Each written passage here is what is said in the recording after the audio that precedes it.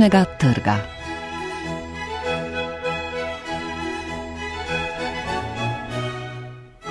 Dobr dan. Pesniški dnevnik Aleša Bergarja v zbirki na vse zadnje, zgodbe samo svojih junakin v zbirki Suzane Tratnik Škarje in razkrivanje bruselskih nečistih poslov v kriminalnem romanu Mojce Širok Praznina. To so dela, o katerih bomo govorili v oddaji iz knjižnega trga. Recenzije so napisali Petr Semolič, Veronika Šoster in Majda Travnik Vode.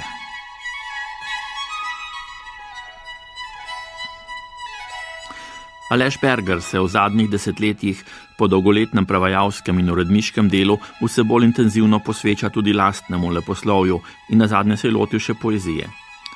Pesniška knjiga z naslovom Na vse zadnje ima v podnaslovu opis Pesniški dnevnik junij 2021-junij 2023. Z motivi iz vsakdanjega življenja se prepletajo spomini na posameznike in tudi slogovni namigi na druge ustvarjalce. Bergerjev pesniški dnevnik je izdala Cankareva založba, interpretira ga Petr Semolič.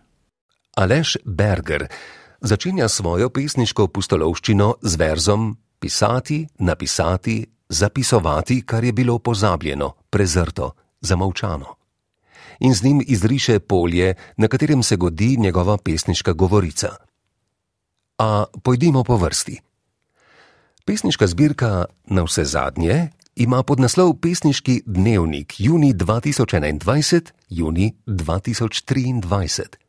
Če naslov ne mara aludira na avtorjev biografsko gledano pozen obrat k pesništvu, pa nam podnaslov prikliče pojme kot sta zasebno in hipno.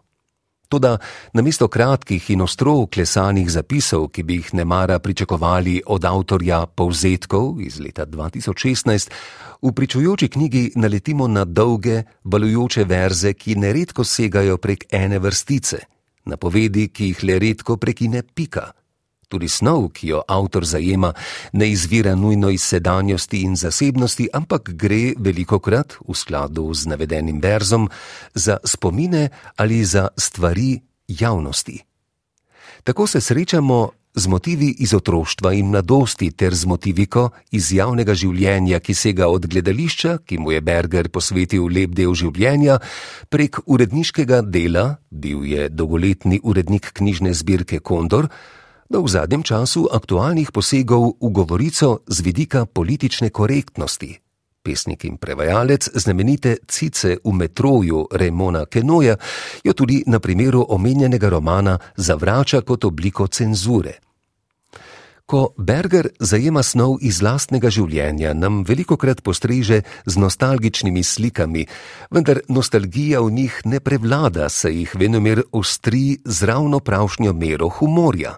Takšni so mojstersko izrisani portreti, kot je naprimer portret profesorice in amaterske igralke Gnezda. Motivi, vzeti iz vsakdanje resničnosti, se srečujejo z motivi iz pesnikovega dela, uredniškega in prevajalskega, z njimi pa vstopajo v pesmi številne literarne reminiscence. Te niso zgolj za okras, saj znajo pomembno vplivati na to, kako avtor razvija osrednjo temo pesmi. Če bi po podnaslovu zbirke sklepali, da bomo priča vsaj do neke mere zasebnemu pisanju, pa nam tudi medtekstualnost pričujočih pesmi govori, da ni tako. Bergerjevo pisanje je osebno, vendar ne tudi zasebno, saj ga številnimi pesniškimi postopki odpira v različne smeri.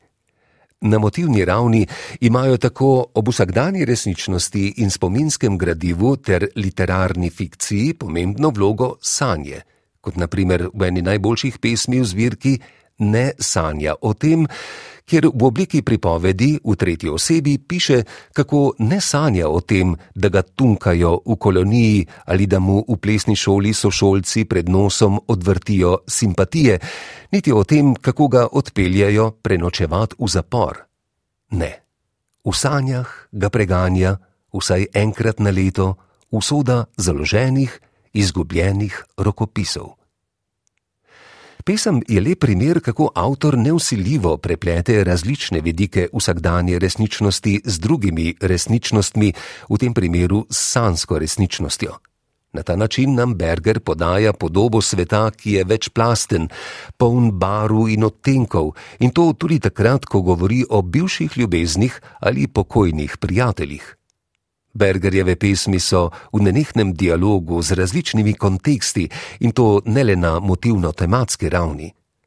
Raba asonance nam lahko prikliče v misli Gregorja Strnišo humor in raba starinskih besed ter narečnih izrazov pa morda poezijo Milana Jesiha. Prav z uporabo tovrstnih besed, kot tudi še z drobci iz tujih jezikov, Berger vzpostavlja bogato korespondenco z različnimi literarnimi in drugimi tradicijami. Hkrati pa razbija iluzijo pesmi kot enkrat za vselej zaključene celote. To dopolnjuje in nadgrajuje z domiselno rabo potujitve. Pesnik nam namreč vse čas odpira vrata v svojo pesniško delavnico, nas vabi, da se skupaj z njim povprašamo po pasteh pisanja, torej po smislu in naravi napisanega, in da zauzemamo stališča do različnih vidikov stvarnosti in življenja. Alež Berger je z zbirko na vse zadnje presegal zgolj dnevniški zapis, če tudi pesniško dnevniški, se je ustvaril bogat, barvit portret nekega obdobja, ki sega od časa, ko so mimo njegove stare hiše še vozili furmani z lojtrniki, do časa, ko na vrtu pred neko drugo hišo na računalnik tipka verze pričujoče knjige, nas kot bravke in bravce pa dela za soudeleženke in soudeležence v tej pustolovščini.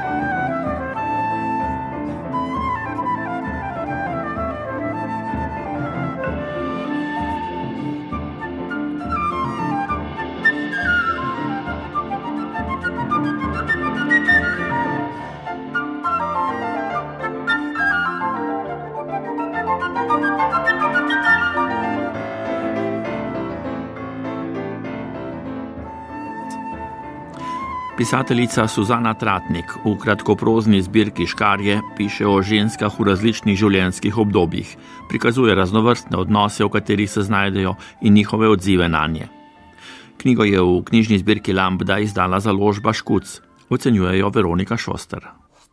Zbirka Suzane Tratnik Škarje prinaša devet zgodb, ki slikajo presenetljiv pripovedni lok saj se na začetku z nostalgijo in prizori odraščanja še dotikajo prejšnje kratkoprozne knjige Noben glas, potem pa se od tega občutja odrežejo in nas popeljajo v svetove onstran ogledala.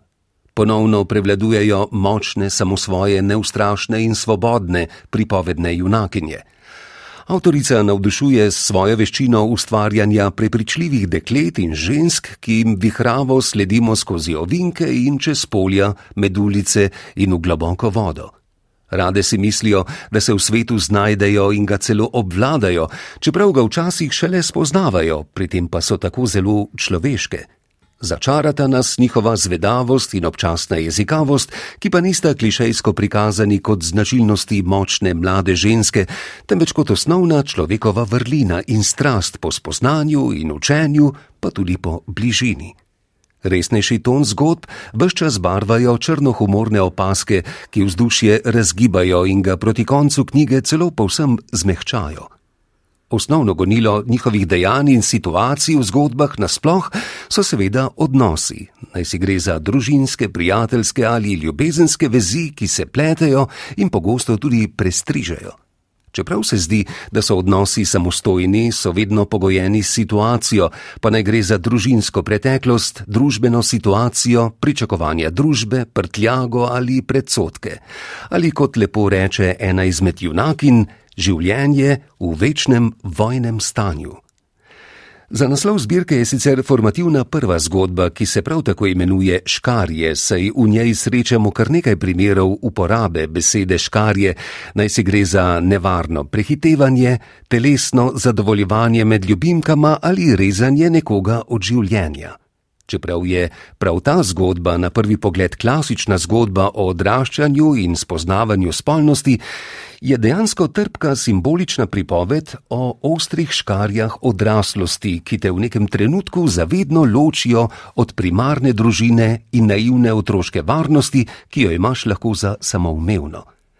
Ta sentiment nadaljuje druga zgodba: Noge za milijon dolarjev v kateri se junakinja odloči, da si bo zavarovala svojo posebno sposobnost, kot si je filmska igralka zavarovala noge, pri tem pa se poveže s skrivnostno sosedo, s katero naj bi sklenila posel.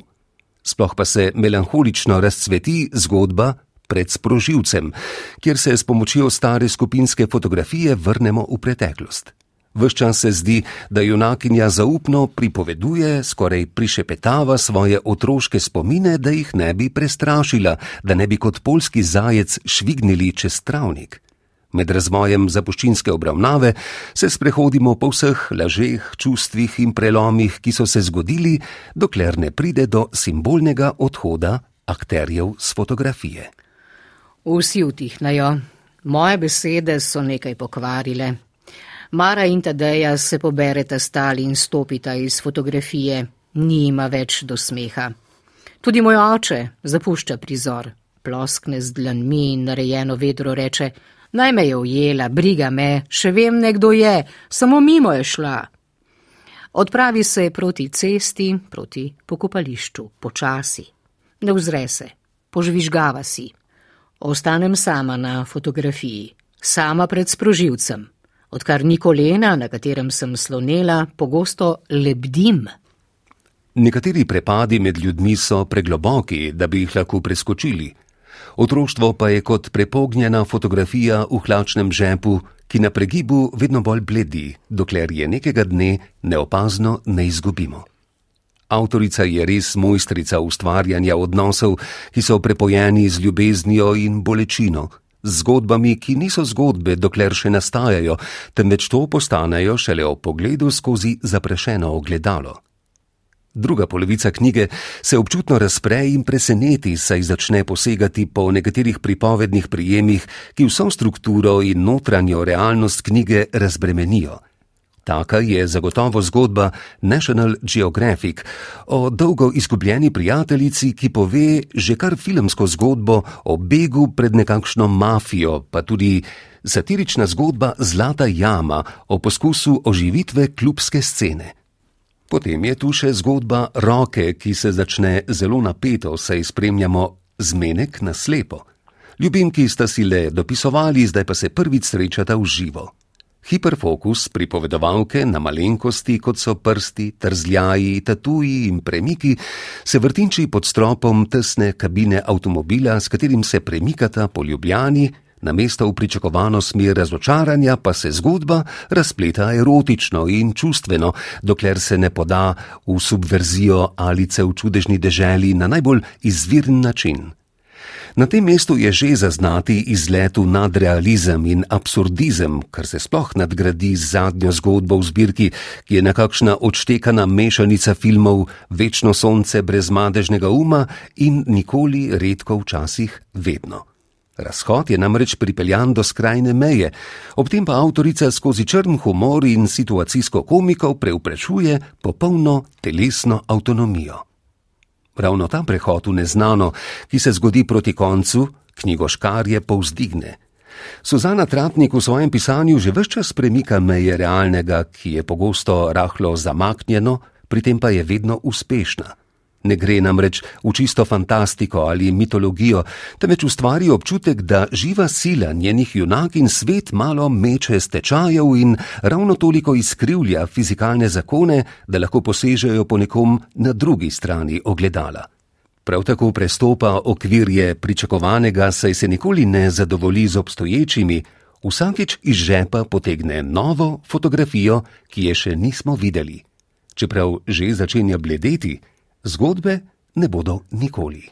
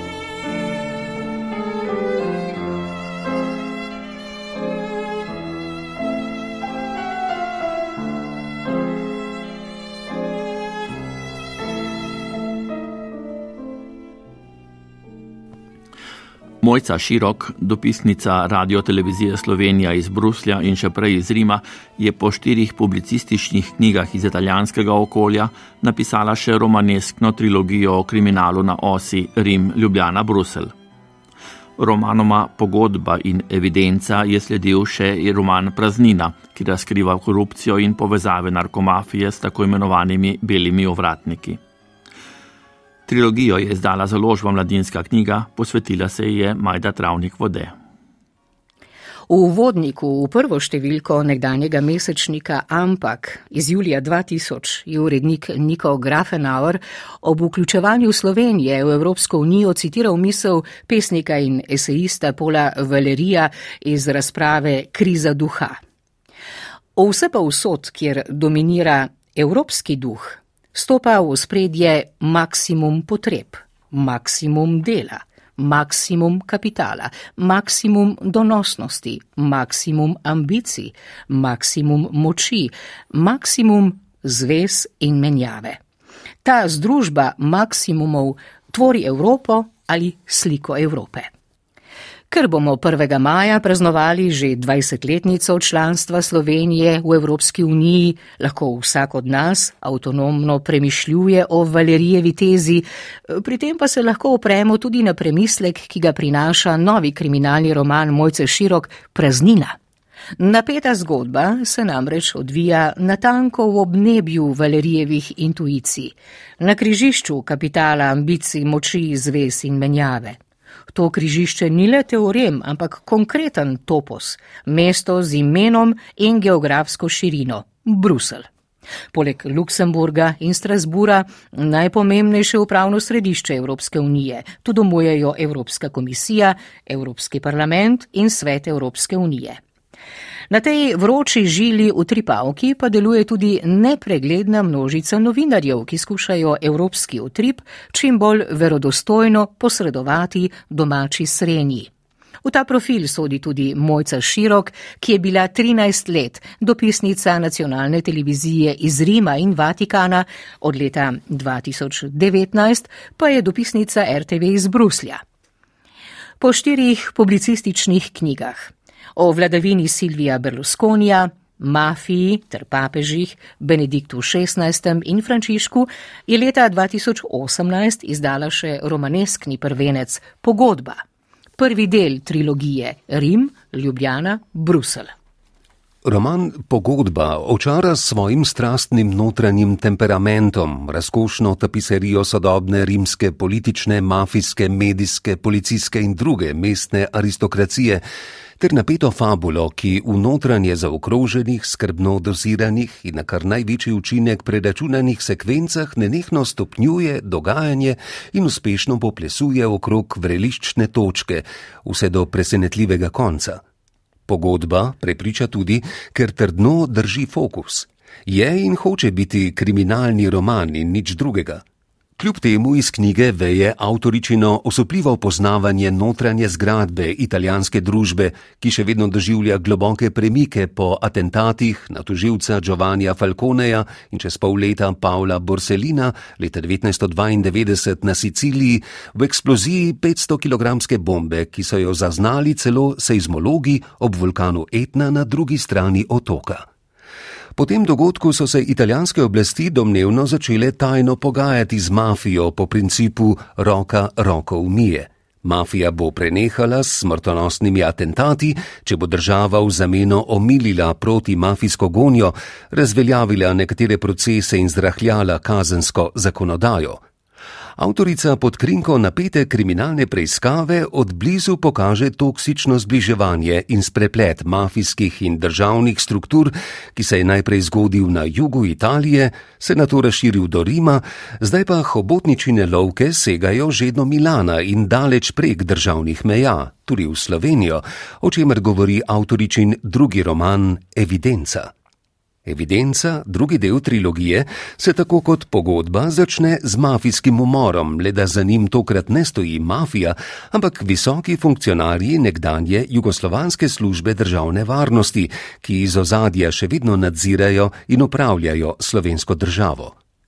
Mojca Širok je domnevno sodelovanje med SDV in sicilijansko mafijo v slovenskih obmejnih igralnicah v prvih po osamosvojitvenih letih raziskovala za tednik Mladina. V evidenci pa piše o veliki denacionalizacijski goljofiji in polastitvi zlovešče in dragocene arhivske evidence službe državne varnosti. Tako kot pogodba se tudi evidenca konča resignirano, že skoraj da stoično in v znamenju nekakšne nepovsem popolne deziluzije. Nekaj negativcev je odstranjenih, a kardinalni krivci, sive udbovske eminence, ostajajo maskirane v globoki senci vsemogočna oblast brez obraza. Prav avtoričina stoična drža, resignacija in deziluzija, v katerih izzvenijo vsa tri besedila, pa pritegnejo pozornost bralca in zgodi se nenaden obrat. Vprašamo se, ali vse tri zgodbe, tudi praznina, rastejo iz realnega družbenega tkiva, ali niso romani zgolj zrcala ali metafore resničnega stanja. Ta preklop na realno se zgodi popolnoma spontano in neusiljivo, saj avtorica v vseh treh romanih disciplinirano ostaja v okvirih žanra in nikjer ne pretendira na izredno družbeno kritiko.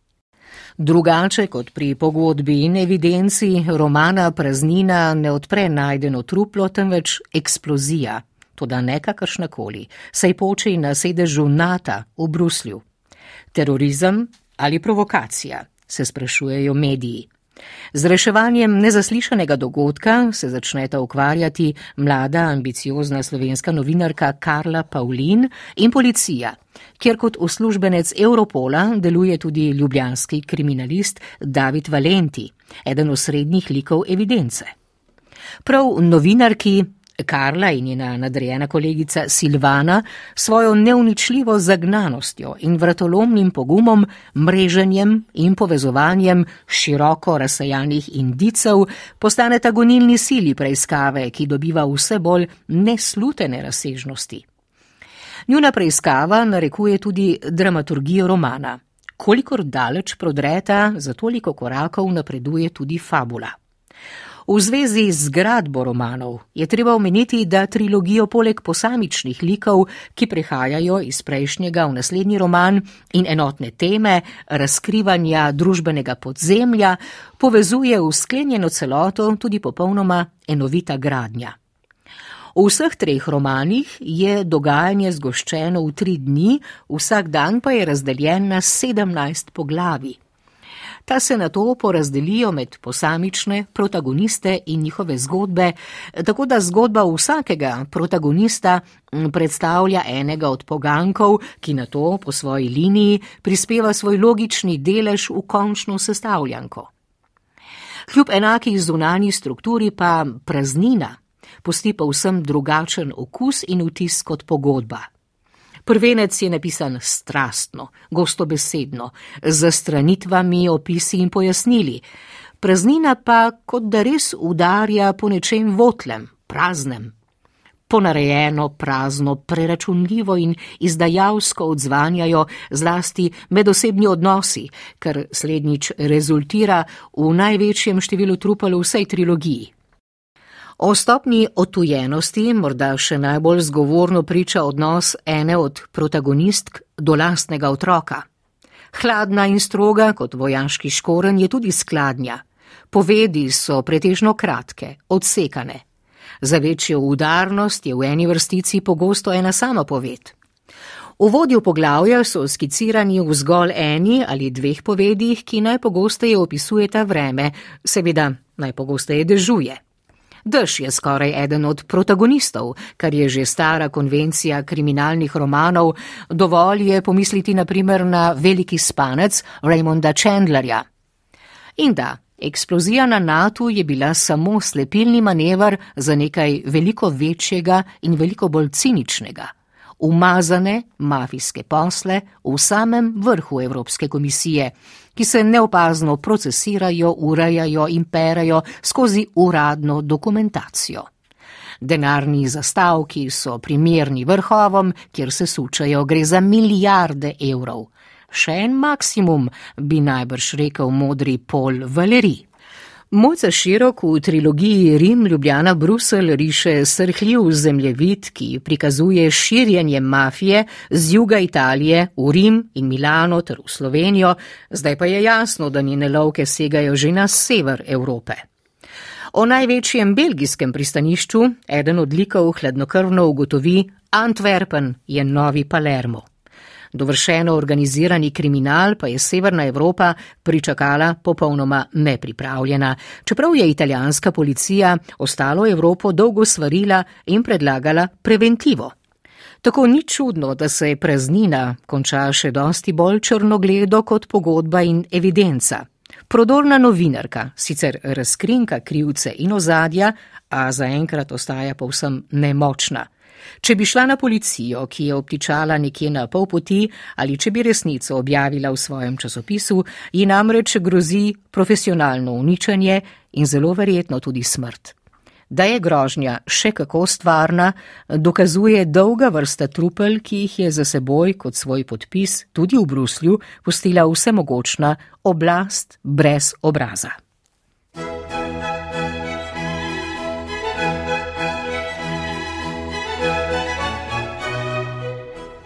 Poslušali ste oddajo z knjižnega trga.